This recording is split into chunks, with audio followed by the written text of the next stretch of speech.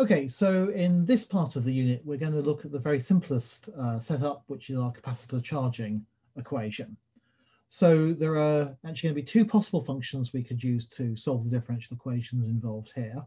Uh, both live in scipy.integrate module. So solve IVP is the currently supported, um, currently being developed version of the function. That stands for solve initial value problem. Um, and there's also an older version of a function which is called um, ODE int. So uh, both give you good results. Um, Solve IVP is a little bit more flexible, um, can do slightly more things, um, whereas ODE int certainly has more examples on the internet. So if you go and look online and do a search for solve differential equations with Python, you'll probably see examples using ODE int. But both equations give you very um, uh, same, give you essentially the same results, and they're, they're both relatively straightforward to use, and in fact very similar to use. Okay, so uh, returning to our circuit diagram, um, we've got our voltage source, we've got our resistor, we've got a capacitor, um, and we've got a switch to turn it on and off. Uh, and we could write down the differential equation for this system, as we saw in the last part of this uh, unit, um, just as dq dt is the voltage over the resistance minus the charge over the resistance times the capacitance. And if we start by assuming that time equals zero, the uh, the capacitor is discharged and therefore Q of zero is zero. And that's our boundary condition for solving our differential equation.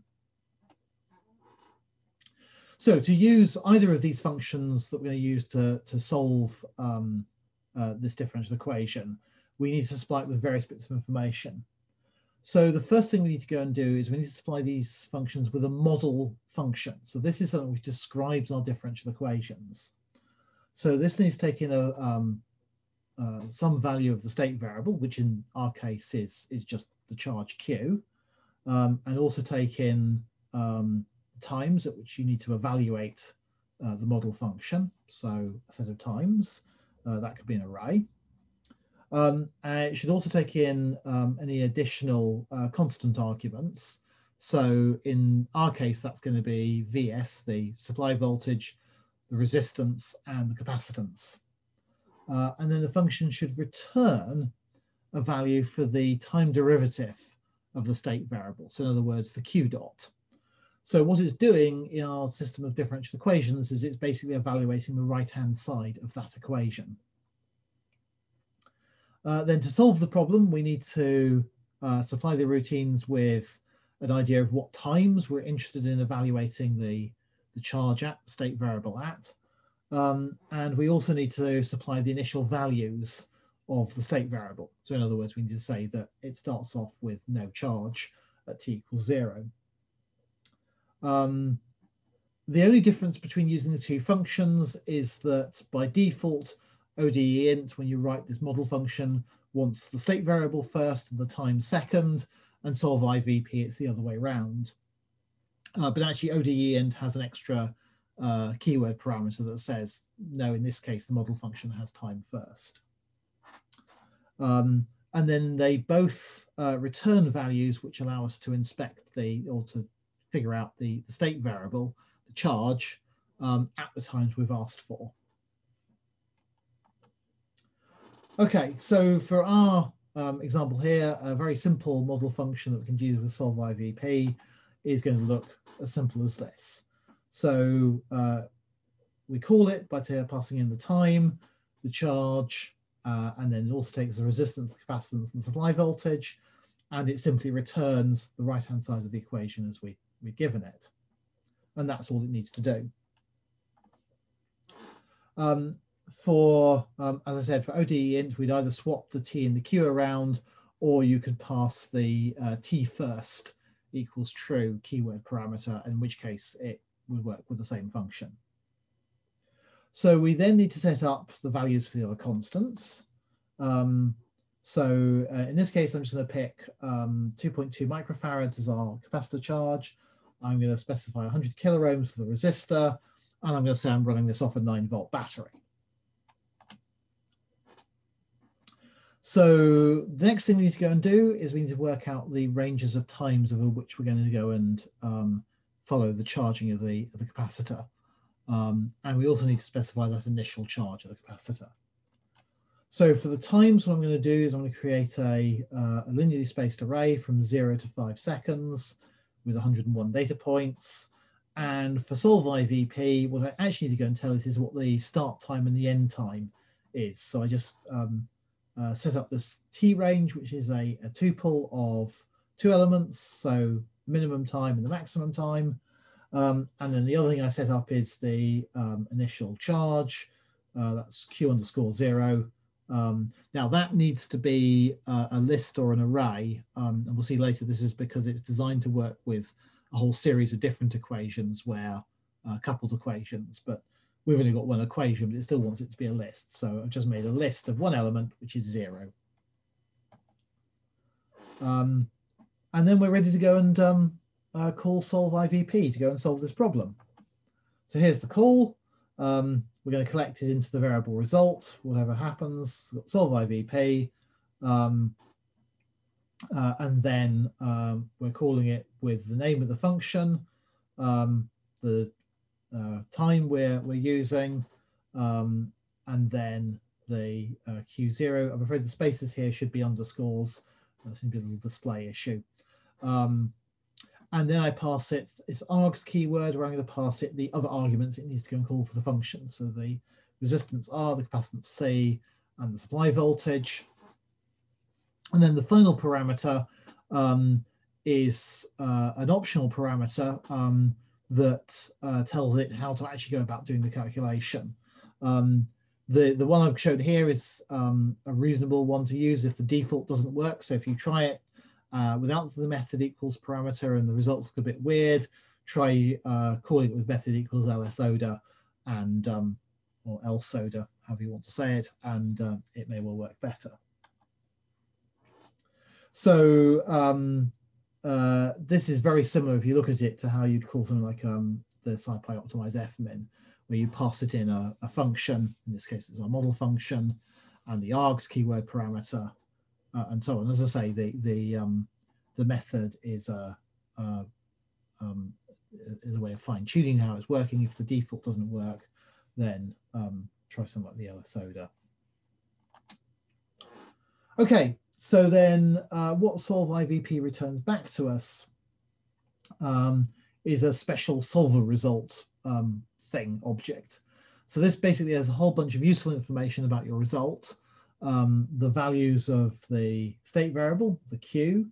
Um, uh, it also has um, the um, uh, uh, the corresponding times at which the state variable has been calculated for, and includes information about the number of times calculation was evaluated and whether it succeeded or not, and so on. Um, so what you get back in this result.y, where the state variable is, is actually a 2D array um, again, because everything is designed to work with multiple differential equations. In this example, we're just using one differential equation, and so it's a 2D table with only one row, uh, which is the result for the first differential equation. Um, but we still need to go and tell it we want the first row. Um, and so we can just go and make a little plot of the results here. So here I'm just plotting the um, result.t, which is the times it, it evaluated the function at, and um, result dot y zero. So in other words, the first row of the results table, which is the, the value of the charge. Um, and what you can see here is that um, is evaluated the, the charge at various points. You notice that the spacing of the points of evaluated the charge is not even. And that's because as it was solving the equation, it realized it didn't need to look as um, often in time as it got uh, further on in time because the um, uh, the, the, the charging was getting more and more stable. The total range of time we've uh, controlled with the t underscore range parameter, but it's picked the times to go and evaluate the function at. Um, now, um, if we don't want to go and do that, if we want to go and work it out at other times than it's picked, there are two ways we can go about doing that. We can either pass it a t underscore eval keyword argument with a list of times to go and, and use, um, or alternatively, you can set the dense output equals true keyword parameter, and that will then return an interpolation function, which you can then pass any times you like, and, and it will give you the same answers. So um, here you can see doing that. I've now um, changed the, the call to solve IVP. I've added in the uh, times that we're um, wanting to evaluate at. That's just our, our T array. And I've also, for good measure, told it I want the dense output. Um, I can do one or the other. I don't have to do both, but I'm going to do both just so I can show you they, they both work. Um, so then I'm going to make a new figure and because I've passed it the t eval is a set of times, result.t is now those times I told it to go and evaluate at. Um, and therefore result.y contains the uh, charge at those times I told it to go for. Um, equivalently, the result.solve is something I can call by passing it an array of times. Um, it will return a, a table of um, results of which I want the first row because I'm looking at the first row in Y. Um, and I can plot that against the time the times in my time array. Um, and what you can see here is that those are in fact exactly the same thing. So I get exactly the same answers, no matter which way around I do it. Okay, ODE int um, is very, very similar to use. Um, so the only difference really is that um, you don't pass it a time, a t range or a range of times. You just pass it the times you want it to evaluate at and it automatically uses the uh, um, method. Um, it doesn't have any options to do anything else. The reason you might want to do something else is that um, can be a bit slow sometimes. It, it's it, it, tends to be relatively robust and careful, but at the expense of being quite slow. For some problems, you can find that um, Solve IVP can be faster if you use one of its other methods. Um, so there's the call to it. Um, it it's um, also doesn't return the same results object. It, returns just the just the solutions, um, uh, and so um, what you get back is just a 2D array. Um, again, rather confusingly, this time round, it's the columns that correspond to each equation and the rows correspond to the times.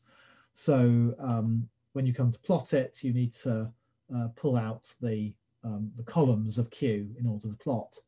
And if I plot now the results from using solve IVP and using ODE int, you can see they're very nearly the same. They're not quite the same. There's a slight, particularly um, at the shorter times, there's a slight difference in values, but it's, it's really very, very close. And you can pretty much see if you drew a smooth line through those, you'd be drawing the same line um, for both the red dots and the blue crosses.